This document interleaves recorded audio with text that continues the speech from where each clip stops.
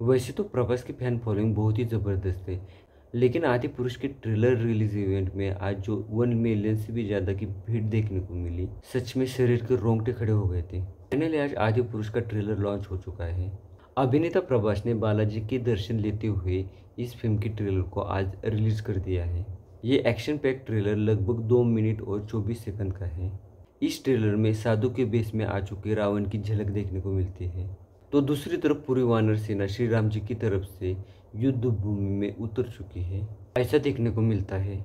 अधर्म का नाश करने के लिए मैं आ रहा हूँ। ये प्रवास की डॉलक सुनते ही शरीर के रोंगटे खड़े हो जाते हैं। सिनेमा का ट्रेलर देखने के बाद में ये तो बात पक्की हो जाती है कि कहीं भी धार्मिक भावनाओं का अनादर किया गया नहीं है। ट्रेलर सच में देखने में बहुत ही भव्य दिव्य है। इतने बड़ी कहानी का एक ही ट्रेलर में अंदाज़ा लगाना बहुत ही इम्पॉसिबल सी बात है। जब से ट्रेलर लॉन्च हो चुका है, इसके समर्थन में और इसके विरोध में बहुत सारे वीडियो आगे आ चुके हैं। कुछ दिनों पहले इस फ़िल्म का टीजर लॉन्च हो चुका था, जिसने बहुत ही निराशा कर दी थी। पर अब जो ट्रेलर लॉन्च हो चुका है, उसमें किरदारों के कपड़े बैकग्राउंड के सीन उन किरदारों के बीच के डायलॉग इन सब में बहुत ही बढ़िया इम्प्रूवमेंट देखने को मिल रही है। मतलब जो अच्छा है, उसकी कुछ तो कदर होनी चाहिए। ट्रेलर की शुरुआत के जो वेपिक्स देखने को मिलते हैं, सच में लाजवाब हैं।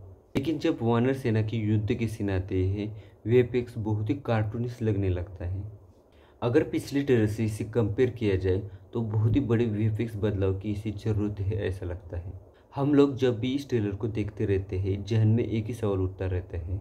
जितना भी मामला बिगड़ चुका है, उसे ठीक किया जा सकता है। लेकिन रामानंद सागर की रामायण से इसे कंपेयर करना इस फ़िल्म से बहुत ही बड़ी नाइंसाफ़ी वाली बात होगी। क्योंकि रामायण सागर जी के, रामायण के प्रति जो भी विजन थे, वो हमें सीरियल में बहुत ही अच्छे तरीके से देखने को मिले थे। हम उनके विजन का तहे दिल से आदर करते हैं, लेकिन आदि पुरुष के मेकर्स के प्रयत्नों को भी हमें अप्रिशिएट करना चाहिए। खराब वीएफएक्स और रिवर्कड सीजीआई इस फ़िल्म को जितना ले चाहिए डुबो सकते हैं, लेकिन माउथ टू माउथ पब्लिसिटी इस फ़िल्म को सक्सेस करने में बहुत ही बड़ा अहम हिस्सा निभाने वाली है।